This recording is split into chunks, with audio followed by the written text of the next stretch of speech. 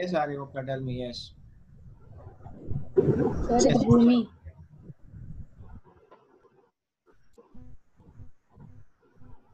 I can't hear you.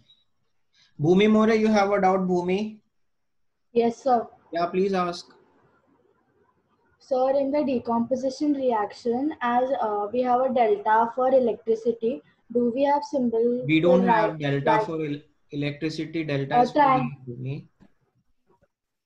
for try. heat, Bhumi. Ha, sorry, delta for heat. Then is there any You're asking sign? whether we have a symbol for electricity and light and all. Yes. No, we don't have any symbols for them. We have to write that. Okay. We have to write electricity like- or like, you know, uh, whatever we are doing. Apart from heat, there is no other symbol which is associated with anything. So you have to mention that. Or you can write electrolysis, you can write it like that. Okay. Yeah. Okay. Thank you, sir.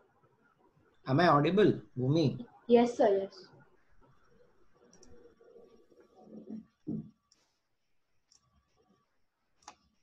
Yes, Swara. Yeah. What's your doubt, Swara? Uh, sir, if we have a redox reaction, will we call that decomposition or combination? Your voice is breaking, Swara. I can't hear you. Can you repeat it? Sir, if we have a redox reaction, Redox reaction. then uh, will yes, sir. Uh, Uh, can you please? we call it decomposition or combination? Uh, can you please type it out, uh, Swara? Your voice is breaking. Can you please uh, put it on chat? I'll radio chat and I'll answer your question, please. Yeah, there is a Okay, sir. network issue over here. It's a power failure. So I'm using my mobile network. Uh, it's not that great. Okay, so please uh, type it out on chat. I'll read your question and I'll give you answer, right? Arya Gupta, I can't hear you Please type out your questions. Uh, those who have queries, please type out your questions and uh, send it to me. I'll answer those questions.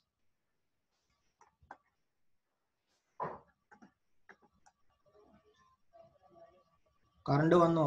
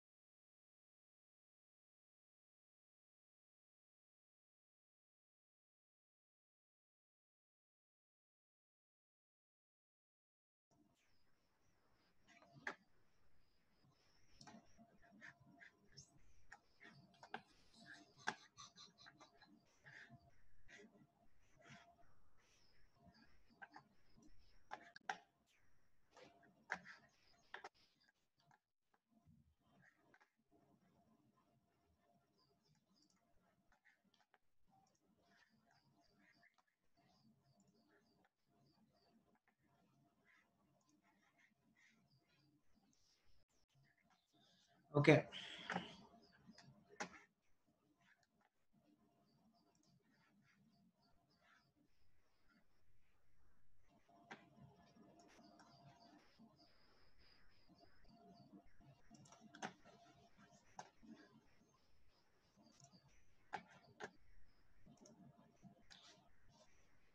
Okay, so the question was whether redox reactions are uh, decomposition reactions or uh, combination reactions. See, for a redox reaction to take place, there should be a reducing agent or an oxidizing agent. So it's basically we should have at least two reactants on the left hand side of the reaction. So obviously it cannot be a decomposition reaction. Okay, I hope I am audible to you. Uh, Swara, if that was your doubt. Okay, so in decomposition reaction, we'll be having only one reactant on the left hand side. So that won't be a redox reaction because we need to have a uh, reducing or a oxidizing agent, which should be actually making that thing undergo reduction or oxidation. Okay, so uh, yes, Any other doubts? Please raise your hand, please.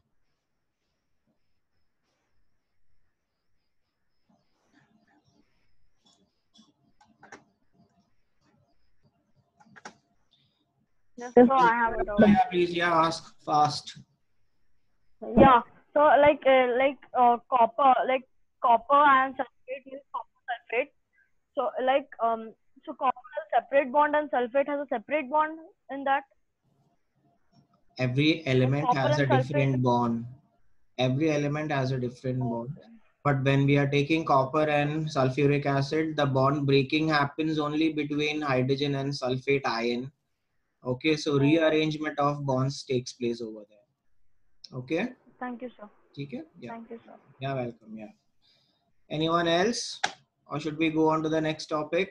I hope Swara, your doubt is cleared. If it is not clarified, please raise your hand. Tanay, if your doubt is cleared, please let me know. If it is not clear, please raise your hand.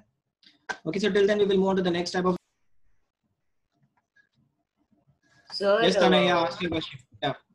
Sir, can a direct combination uh, reaction with elements can be called a direct combination reaction as Yeah, obviously you can. Yes, you can.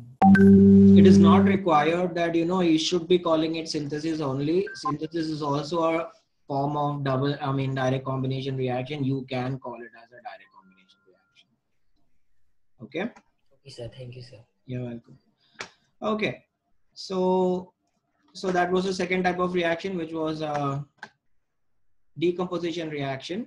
Now, uh, the next type of reaction is called as displacement reaction. So, displacement reaction is a reaction in which compound and it displaces one of the like you know atoms on it. So basically, we see displacement reaction taking place uh, in case of metals. Okay, but then we also study about non-metals this year. I guess we had an example of non-metals also last year also. Okay, so a metal and a compound. Okay, so the element which is taking part in this reaction most probably will be a metal over here. So you can look at the example which is given to you, which is like magnesium reacts with copper sulfate. So as you can see, magnesium goes and displaces copper ion from copper sulfate and takes its place, forming magnesium sulfate, which is a new compound, and the element which is displaced is written as a different elements. So this is a general reaction that is uh, A plus BC gives you AC plus B, wherein A is going and displacing B from its place, forming a new compound AC, and B displaces and like you know exists as an element. Okay, so this reaction uh, is seen basically in case of uh, uh, elements like you know metals most probably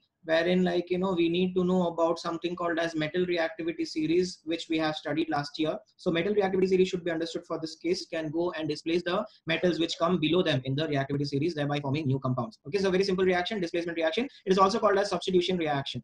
Okay yeah i'll take your doubt in a minute. I'll finish this double decomposition so that this topic is done. Okay double decomposition reaction is when there are two ions which are getting exchanged. Composition has got two types of reaction. That is how we get a total of five reaction. That is like uh like you know double decomposition the first type of reaction is called as precipitation reaction and the second type of reaction is called as neutralization reaction okay? So precipitation reaction is when two compounds of the new compound which is formed is insoluble in water which is a precipitate precipitation reaction okay? So an example is given to you over here that is uh, you use you ad plus cb now you cannot just write you know ad plus ab plus cd gives you ad plus bc and all signs over here whenever we take a compound, we know that a compound is formed by you write a compound, you always write the positively charged ion first. That's the reason why position is very important. That's the reason why when ion B goes after C and not before C. Okay. So AB plus CD gives you AD plus CB acts with KCl, that is potassium chloride, gives you silver chloride plus potassium nitrate. Okay. So for you to understand the swapping of ions, we have given you the NO3 from AgNO3 goes to K. As a result, it forms KNO3OG, forming AgCl as a compound. And this AgCl is a precipitate which is denoted by a downward, by a downward arrow. Similarly, a gas is always denoted by an upward arrow. Soluble solid form by the reaction between compounds in aqueous solutions. And these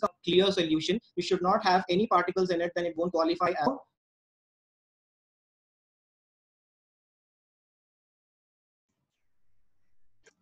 Okay, so this is how you understand what a precipitant is. Neutralization reaction, we have studied neutralization reactions in great set. So as you can see, again, there also we have the like swapping towards H, forming H and OH combining together and giving you water. Similarly, NO towards the sodium uh, and it forms a salt sodium nitrate that is NaNO classified as neutralization reaction. Okay, so double decomposition reaction, precipitation reaction is when swapping of ions takes place and uh, and the second type of reaction that is neutralization reaction is when salt and water is formed in all the reactions. That type of reaction is called as neutralization reaction. Uh, I know you have got a class coming after this. So whatever doubts you have, if you don't, okay, there are only two doubts. Okay, Uh, Arya Gupta, can you hear me? Can you ask it out Yes, fast? Yes, sir. Hmm. So, like, so how do we identify? Uh, how do you identify a precipitate? A precipitate, you can see a precipitate, Arya Gupta. Before doing the reaction, both of them will be clear. And when you mix them, you will get something which is like, you know, not soluble in water. That is how you identify a precipitate. So, in the question, they'll give a downward arrow. Sorry? In the question, they'll give a downward arrow for a In the question, they will not give you any downward arrow. Why should they give you downward arrow? Okay. And is are redox reactions also double displacement reactions? It can be. It can be not all double displacement reactions should be uh, redox reactions. Redox reactions depend upon whatever is taking place in that reaction. So you cannot bring in redox reaction as a like you know different type of reaction. It can be any type of reaction.